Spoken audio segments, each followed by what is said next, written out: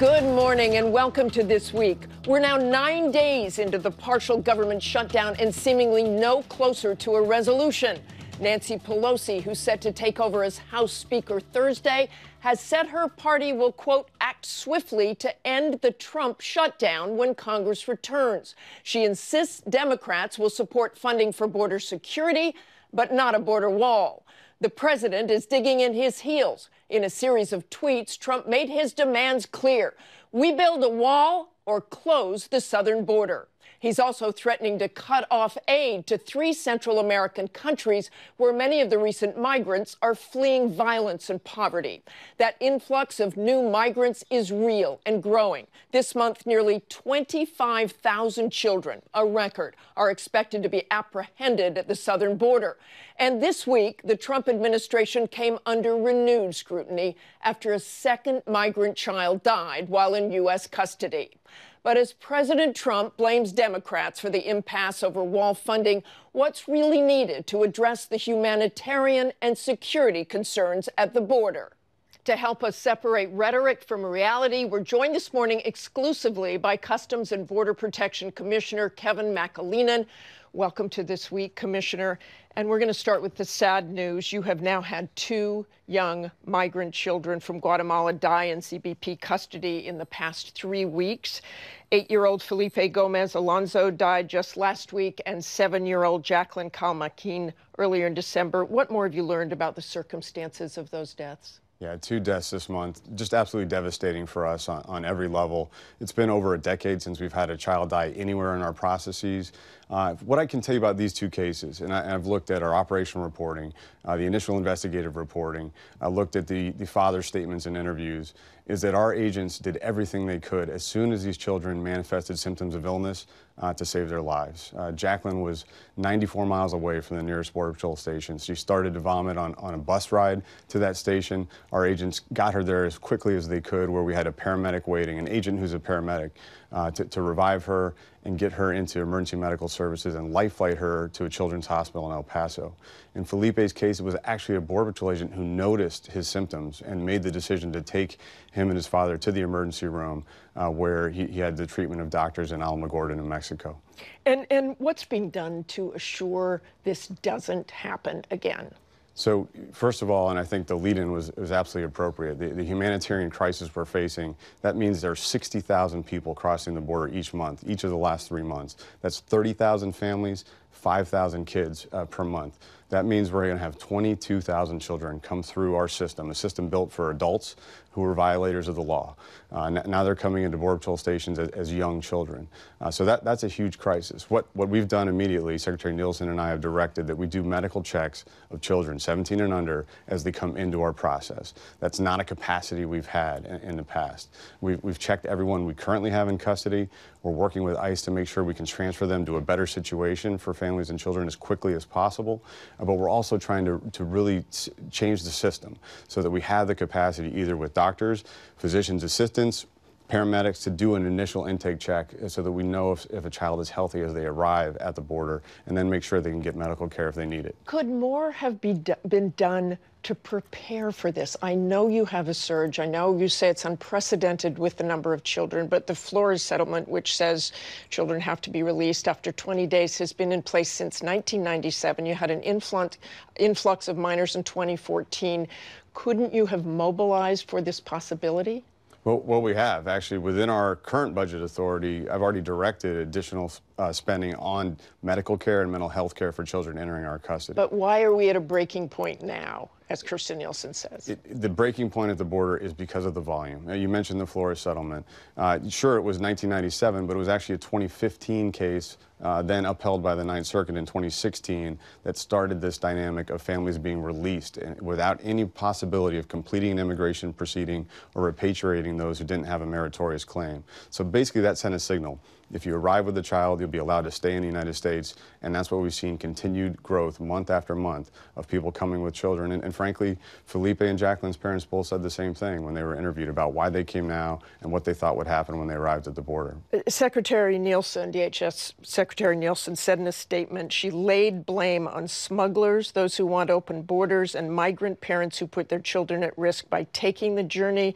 President blamed the opposing party. Does the federal government bear any responsibility for these deaths? So I think this is a multifaceted problem that requires a multifaceted solution. You, mentioned the legal framework.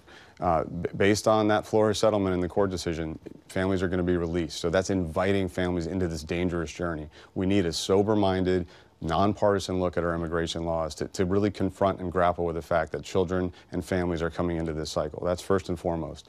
We also need to invest in Central America. The State Department's announcement of an unprecedented increase in aid, I think, is a tremendous step forward. Uh, there are green shoots of progress, uh, both on security and the economic uh, front in Central America. We need to foster that and help improve the opportunities to stay at home. We need to partner with Mexico. Uh, no question we need to work with the new administration of President Lopez Obrador and, and have a joint plan for dealing with migrants in the hands of transnational criminal organizations. Let, let me go back to, to Honduras, El Salvador, Guatemala. You have traveled there. You talked about that aid package. If there wasn't aid going into there, if that aid was cut off, what would the result be? More problems? Well, I think that the need is for an accountable partner uh, on, the, on the, the, part of the Guatemalan, Honduran, and El Salvadoran governments. Uh, when we work together with well-targeted programs and really targeting them at areas that are we're seeing migration, like the western highlands of Guatemala, where there's a real poverty and hunger crisis. Uh, it's one of the most food insecure regions in the hemisphere. Uh, huge rates of malnutrition. USAID, uh, along with the USDA, have great programs there to try to foster that. But we need the government to step in uh, and join us in that effort. And, and I think with, the Mexican government coming in now, also expressing investment and development in Central America as a priority, we've got a real opportunity to make a difference. I, I want to move to the wall, uh, the border wall. The southern border is nearly 2,000 miles long, but establish how much new border wall has been built since President Trump took office. So, and, and that's the fourth element of the strategy I was about to finish with is, is we need investments on the border security side in addition to the humanitarian needs that, that I already spoke to. Uh, the border wall in FY17, uh, President Trump's first budget, we, we, got about $300 million to, to uh, start building new wall for the first time in years. Uh, we built 35 out of those 40 miles already. Uh, that's, that's record time for a major government procurement of this nature. And we're already uh, on contract and launching construction for the FY18 funded, fiscal year 18 funded priorities as well. I, I've been along that border and driven most of that border. There are areas where the wall is clearly ineffective. People are climbing over that wall. How much of that border do you think the wall that exists or the fencing that exists is ineffective. Right. So our, our wall system priorities are derived from our agents in the field. Uh, they, they offer the capabilities they need to achieve control of their sector, their, their area of responsibility. Uh, so we, we've asked for about 1,000 miles of wall in our top 17 priorities on the primary line. These are areas where we have a, a dense metropolitan area on both sides of the border where people can disappear quickly into a neighborhood in the U.S. side if we can't slow them down. Uh, and what we're talking about is not just a dumb barrier. We're talking about sensors, cameras, lighting, access roads for our agents, a system that helps us secure that area of the border. That's what we were asking Congress. So, so if if you got if the administration got five billion dollars for a wall, would you want part of that money to be spent for all these technologies that you're talking about? Absolutely. That's included in, in the ask of Congress. It's about 215 miles of wall system, which has all of those capabilities included in it. And and I, I, you've said you need this border security investment. There's a lot of congressmen I've talked to down there who say, look, you you get the wall up there and a drone will just fly over. That's how they're delivering drugs and, and other illegal substances. Well, no one's asking for only a, a, single focus on our border security investments. We've asked for But, but when you technology. look at a wall, can't that just be overtaken by a drone or some other method of getting through? When you're talking about 60,000 people flowing across the border, uh, and we're talking about drug smuggling increasing between ports of entry, hard narcotics, synthetic opioids, methamphetamine coming 25% increase year, last year. We've seen it increase again the first three months of this year. We need a barrier to help us stop that, to push into the traffic into areas that we can control more effectively. And it's a multifaceted approach. Sure, we need counter drone technology too. We appreciate Congress giving the Secretary the authority to start exploring that. We, we need to attack all of the different vectors that could threaten and, and just quickly, you're, you're having a crisis now. You're said you're at a breaking point you want money for a wall and other border security, but that's not going to happen quickly. So, how do you deal with this? Well, we also need, need money to provide a better process, a different approach for families and children crossing.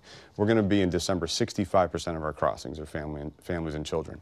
We don't want them in Border Patrol stations. We want them in a better scenario for these vulnerable populations that we're seeing. So, that's an immediate thing that we can do much more quickly. The surveillance technology we can deploy very fast, and it's not just for the between the ports. Our, our ports of entry, these huge gateways for, for our economy, four trillion, uh, two, two billion a day on the southwest border. We need to be able to stop drugs coming through in vehicles and being carried by individuals crossing that border too, and we need technology to help us do that. Thank you so much, Commissioner, for explaining all this to us this Thank morning. Thank you. Thanks very much.